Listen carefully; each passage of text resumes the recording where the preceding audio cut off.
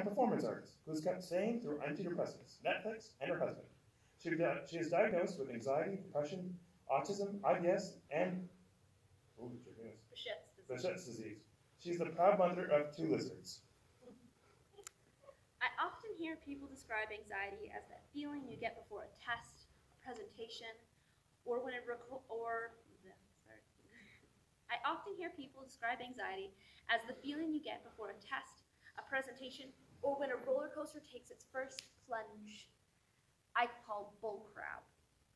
While it does feel like falling, that moment is stretched out like an elastic band, building up tension until you feel like when it finally snaps, you'll be destroyed in the process. Your whole body might be blasted apart into a million pieces, or you'll lay crumpled in heap at a heap at the feet of its terrible bulk.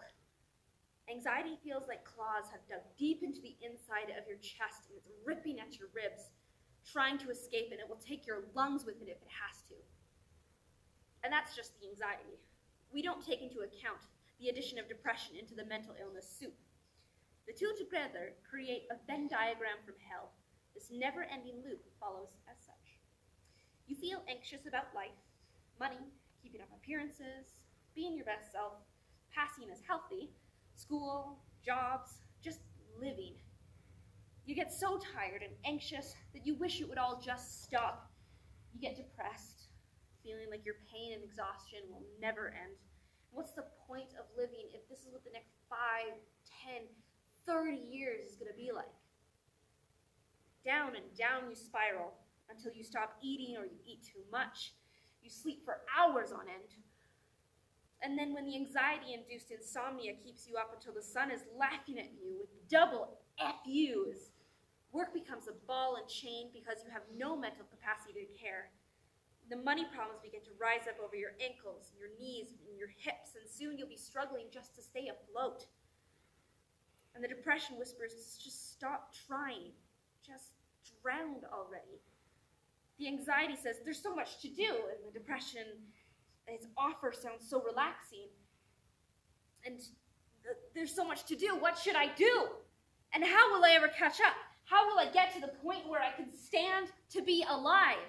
And the depression says, stop swimming. Just rest. And anxiety is screaming to move and to run, and around and around and around it goes until you feel like stabbing yourself in the gut and hoping you don't survive. But hey, even if you do, at least you'll be in hospital and they'll take care of you for a week or two. And then you have to go home to bills and expectations and work and food and sleep and fear. And the pounding head and fuzzy, hearty, pounding heart, fuzzy headedness when the world is spinning around you and you feel like you would be left behind in the planet's dust. Oh, and by you, of course, I mean me. Do yoga, they say. Self care, they say. Take deep breaths, they say. I've drunk myself into a coma on self care, and when I'm brave enough to relax, I hear the voices of society and my elders saying, Be productive, Jennifer. You're so talented, Jennifer. You'll change the world, Jennifer. Just try harder, Jennifer. You can't waste your talent, Jennifer. Talent doesn't pay rent. Talent doesn't make my pain and illness go away. Talent doesn't replace my antidepressants. Talent and promise and hope failed me, when my world got so overwhelming that I had to fall behind and count my breaths for fear of not having any. Talent doesn't cure my Venn diagram from hell.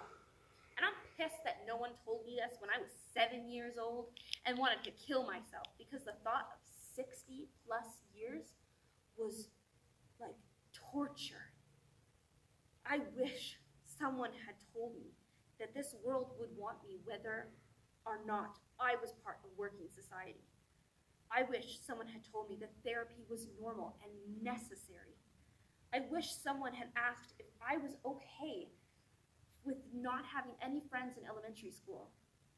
I wished someone would have questioned my need to skip recess and help my teachers grade papers.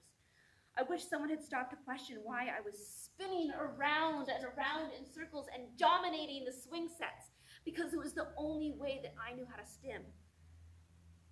I wish someone had given me the answer to my social frustrations, to my special interests, to my sensory issues. I wish that I had been diagnosed at 5 instead of 23.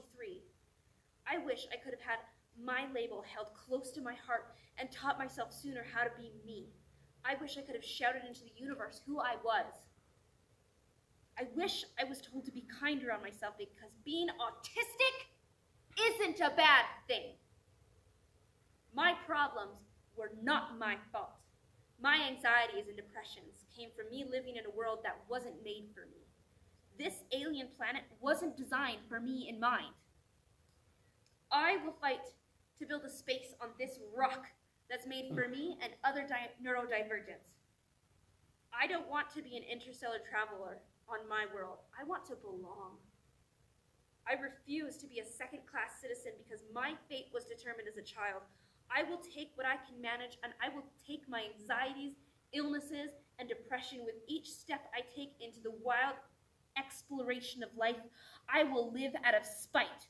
And to this world I say, I'm here whether you like it or not.